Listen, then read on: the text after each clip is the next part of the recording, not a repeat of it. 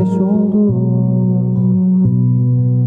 Ben önümü bile göremezken Beni düştüğüm yerden doğrulttun Şimdi ise bitti diyorsun. Gerçekten